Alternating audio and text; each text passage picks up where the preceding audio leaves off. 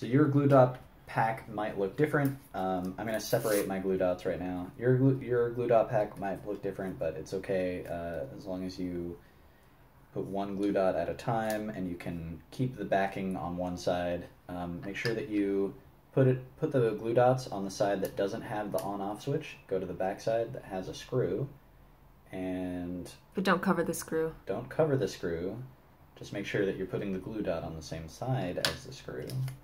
Okay, we got one and the other on the other end of the battery pack. I'm pushing them both down. And now I'm going to peel. There we go. Got that one. And eh. these ones are being uh, pretty feisty. Super high tech. Super high tech.